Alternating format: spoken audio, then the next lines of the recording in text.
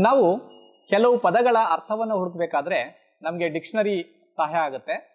ಅದೇ ರೀತಿಯಾಗಿ ಆನ್ಲೈನ್ನಲ್ಲೂ ಕೂಡ ಕೆಲವು ಡಿಕ್ಷನರಿಗಳಿದೆ.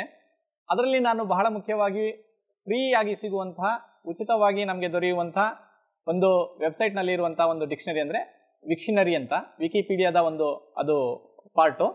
ಹಾಗಾಗಿ ನಾ ಅದರ ಮೂಲಕ ಹೇಗೆ ನಾವು ಪದಗಳನ್ನ, ಅವುಗಳ ಅರ್ಥವನ್ನ ಬೇರೆ ಬೇರೆ ಲ್ಯಾಂಗ್ವೇಜ್ಗಳಲ್ಲಿ ಅಂದ್ರೆ ಬೇರೆ ಬೇರೆ ಭಾಷೆಗಳಲ್ಲಿ ಹುಡುಕ್ಬೋದು ಅಂತ ನಾವೀಗ ತಿಳಿದುಕೊಳ್ಳೋಣ. ಮೊದಲಿಗೆ ನಾನು ಮೊಜಿಲಾ ಫೈರ್ಫಾಕ್ಸ್ ಎನ್ನುವಂಥ ಒಂದು ವೆಬ್ ಬ್ರೌಸರ್ ಅನ್ನ ಲಾಂಚ್ ಮಾಡ್ತಾ ಇದ್ದೀನಿ. ಲಾಂಚ್ ಮಾಡಿ ಈ ಅಡ್ರೆಸ್ ಬಾರ್ನಲ್ಲಿ ನಾನು E N W W W dot E N dot Wiktionary dot O R G ಅಂತ ಹೇಳಿ ಟೈಪ್ ಮಾಡ್ತೀನಿ. ತಾವು ಗಮನಿಸ್ತಾ ಇರ್ಬೋದು ಈಗ E N dot Wiktionary dot O R G ಅಂತ ಅಲ್ಲಿದೆ. ಸೊ ಈಗ ಅದನ್ನು ಎಂಟರ್ ಅಂತ ಕೊಟ್ಟರೆ ನಮಗೆ ಒಂದು ಪೇಜ್ ಓಪನ್ ಆಗಿದೆ. ಇದು ಆನ್ಲೈನ್ ಡಿಕ್ಷನರಿ. ಅಂದರೆ ವಿಕಿಪೀಡಿಯಾ ಒಂದು ಸಂಸ್ಥೆಯ ಒಂದು ಆನ್ಲೈನ್ ಡಿಕ್ಷನರಿ ಇದು. ಇಲ್ಲಿ ನಾವು ನಮಗೆ ಬೇಕಾದಂತಹ ಪದಗಳ ಅರ್ಥವನ್ನ ನಾವು ಬೇರೆ ಭಾಷೆಗಳಲ್ಲೂ ಕೂಡ ಹುಡುಕ್ಬೋದು. ಅನುವಾದವನ್ನು ಮಾಡಿ ಕೊಡುತ್ತೆ ನಮಗದು. ಉದಾಹರಣೆಗೆ ತಾವಿಲ್ಲಿ ಗಮನಿಸ್ತಾ ಇದ್ದೀರಿ ಇಲ್ಲಿ ಒಂದು ಲುಕಪ್, ಅಂದರೆ ನಾವು ಯಾವ ವರ್ಡನ್ನು, ಅಂದರೆ ಯಾವ ಒಂದು ಪದವನ್ನು ನಾವು ಹುಡುಕ್ಬೇಕಾಗಿದೆ. ಬೇರೆ ಬೇರೆ ಭಾಷೆನಲ್ಲಿ ಅದರ ಅರ್ಥ ಅಥವಾ ಅನುವಾದಿಸ್ಬೇಕಾಗಿದೆ. ಆ ಪದವನ್ನು ನಾವಿಲ್ಲಿ ಟೈಪ್ ಮಾಡ್ಬೋದು. ಉದಾಹರಣೆಗೆ ಇಲ್ಲಿ ತಾವು ನೋಡ್ತಾ ಇದ್ದೀರಿ. ಸೊ ನಾನಿಲ್ಲಿ ನನಗೆ ಒಂದು ಬೇಕಾದಂಥ ಸೊಸೈಟಿ ಎನ್ನುವಂತಹ ಒಂದು ಪದವನ್ನು ನಾನು ಹುಡುಕ್ತಾ ಇದ್ದೀನಿ. S O C I E T Y ಅಂತ ಟೈಪ್ ಮಾಡಿದ್ದೀನಿ. ಸೊಸೈಟಿ ಅಂತ. ಸೊಸೈಟಿ ಅಂದಮೇಲೆ ಇಲ್ಲಿ ಲುಕ್ಅಪ್ ಅಂತ ಕೊಡಬೇಕು. ತಾವಿಲ್ಲಿ ಗಮನಿಸ್ತಾ ಇದ್ರಿ ಅದ್ರ ಮುಂಭಾಗದಲ್ಲಿರುವಂಥ ಲುಕ್ಅಪ್ ಮೇಲೆ ಕ್ಲಿಕ್ ಮಾಡಿದ್ರೆ ಸೊ ಈಗ ಅದು ನಾವು ಯಾವ ಭಾಷೆನಲ್ಲಿ ನೋಡಬೇಕು ಅಂತ ನಾವು ಹುಡುಕ್ಬೇಕು ಅಂತ ಅಂದ್ಕೊಂಡಿದ್ದೀವೋ ಅದನ್ನು ಎಡಗಡೆ ಭಾಗದಲ್ಲಿರುವಂತಹ ಒಂದು, ಏನು ಮೆನು ಇದೆ.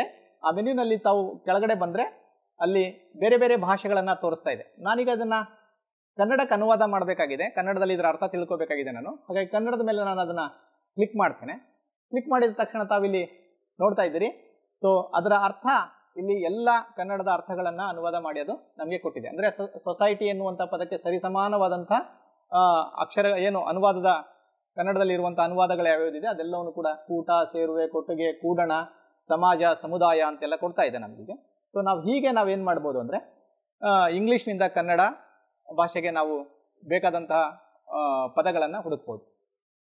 ಸೊ ಇನ್ನೊಂದು ರೀತಿಯಲ್ಲಿ ನಾವು ಇದು ಈಗ ನಾವು ಇಂಗ್ಲಿಷಿಂದ ಕನ್ನಡ ನೋಡಿದ್ದೀವಿ ಅದೇ ರೀತಿಯಾಗಿ ಕನ್ನಡದಿಂದ ಇಂಗ್ಲಿಷಿಗೆ ಹೇಗೆ ಹುಡುಕ್ಬೋದು ಅಂತ ನಾನು ನೋಡೋದಾದ್ರೆ ನಾ ಇನ್ನೊಂದು ಟ್ಯಾಬ್ ಅನ್ನ ಇಲ್ಲಿ ಓಪನ್ ಮಾಡ್ತಾ ಇದ್ದೀನಿ. ಇಲ್ಲಿ ಅದೇ ಯು ಆರ್ ಎಲ್ ಅನ್ನ ನಾನು ಆಗ್ಲೇ E N dot Wiktionary dot O R G ಅಂತ ಬರೆದಿದೆ. ಅದ್ರ ಬದಲಾಗಿ ನಾನು ಏನು ಮಾಡ್ತೀನಿ ಅಂದ್ರೆ ನಾನು ಕನ್ನಡ ನೋಡೋದ್ರಿಂದ K N dot Wiktionary dot O R G ಅಂತ ಹೇಳಿ ಟೈಪ್ ಮಾಡ್ತೇನೆ ನಾನು. ಟೈಪ್ ಮಾಡಿ ನೋಡಿದ್ರೆ ನಾವು ಇಲ್ಲಿ ಗಮನಿಸ್ಬೋದು, ಅದರ ಮುಖ್ಯ ಪುಟ ನಮಗೆ ತೆರೆದಿದೆ. ಇಲ್ಲಿ ನಾವು ಯಾವ ಪದವನ್ನು ಹುಡುಕಬೇಕಾಗಿದೆ, ಆ ಹುಡುಕೋದಕ್ಕೆ ಇಲ್ಲಿ ಜಾಗ ಇದೆ. ಸೊ ಹಾಗಾಗಿ ನಾನು ಇಲ್ಲಿ ಕ್ಲಿಕ್ ಮಾಡ್ತೇನೆ. ಮಾಡಿ ಇಲ್ಲಿ ನಾನು ತಂತ್ರಜ್ಞಾನ ಅಂತ ಹೇಳಿ ಒಂದು ಪದವನ್ನು ಹುಡುಕಬೇಕಾಗಿದೆ. ಸೊ ಆ ತಂತ್ರಜ್ಞಾನದ ಪದದ ಬೇರೆ ಅನುವಾದ, ಬೇರೆ ಭಾಷೆನಲ್ಲಿ ಅನುವಾದವನ್ನು ಹುಡುಕಬೇಕಾದ್ರೆ ಅಥವಾ ಅದರ ಪದದ ಸರಿಸಮಾನವಾದಂತಹ ಅರ್ಥವನ್ನು ಹುಡುಕಬೇಕಾಗಿದೆ ನಾನು. ತಂತ್ರಜ್ಞಾನ ಅಂತ ನಾನು ಟೈಪ್ ಮಾಡಿಬಿಟ್ಟು ಈಗ ತಾವು ಗಮನಿಸ್ಬೋದು. ತಂತ್ರಜ್ಞಾನ ಅಂತ ನಾನು ಈಗ ಟೈಪ್ ಮಾಡ್ತಾ ಇದ್ದೀನಿ ಅಲ್ಲಿ. ಸೊ ಇಲ್ಲಿದೆ. ಈಗ ಹುಡುಕಿ ಅಂತ ಕೊಟ್ಟರೆ ನಿಮಗೆ ಅದೇನು ಮಾಡುತ್ತೆ ಅಂದರೆ ಅನುವಾದವನ್ನು ತಾವು ಕೊಡುತ್ತೆ. ಇಲ್ಲಿ ನೋಡ್, ತಾವು ನೋಡ್ಬೋದು ಇಲ್ಲಿ. ಇಲ್ಲಿ ಎಡಗಡೆ ಭಾಗಕ್ಕೆ ಹೋಗುವಂಥ ಅವಶ್ಯಕತೆ ಇಲ್ಲ. ಕಾರಣ ಏನು ಅಂದರೆ ಇಂಗ್ಲೀಷ್ನಿಂದ ಬೇರೆ ಅನೇಕ ಭಾಷೆಗಳಿಗೆ ನಾವು ನೋಡ್ಬೋದು. ಅದು ಕನ್ನಡದಿಂದ ನಮಗೆ ಇಂಗ್ಲೀಷನ್ನು ಮಾತ್ರ ನಾವು ನೋಡ್ತಾ ಇರೋದ್ರಿಂದ ಇಲ್ಲಿ ಅನ್- ಅನುವಾದ ಅಂತ ತೋರಿಸಿ ಅದು ತಾನೇ ಹಾಗೆ ಕೊಟ್ಟಿದೆ. ಇಲ್ಲಿ ಟೆಕ್ನಾಲಜಿ ಅನ್ನುವಂಥ ಪದವದ ಅರ್ಥವನ್ನ ಅದು ತೋರಿಸ್ತಾ ಇದೆ. ಸೊ ಎಕ್ಸಾಂಪಲ್ ನಾವು ಇಲ್ಲೆಲ್ಲ ನೋಡ್ಬೋದು. ಹೀಗೆ ನಾವು ಕನ್ನಡದಿಂದ ಇಂಗ್ಲಿಷ್ಗೆ ಮತ್ತು ಇಂಗ್ಲೀಷ್ನಿಂದ ಬೇರೆ ಭಾಷೆಗಳಿಗೆ ನಾವು ನೋಡೋದಾದರೆ ಆನ್ಲೈನ್ನಲ್ಲಿ ಪದಗಳ ಅರ್ಥವನ್ನು ನಾವು ಹುಡುಕ್ಬೋದು ಹೀಗೆ ಅಂಥೇಳಿ ತಿಳ್ಕೊಬೋದು ನಾವು ಈ ಅವಧಿ.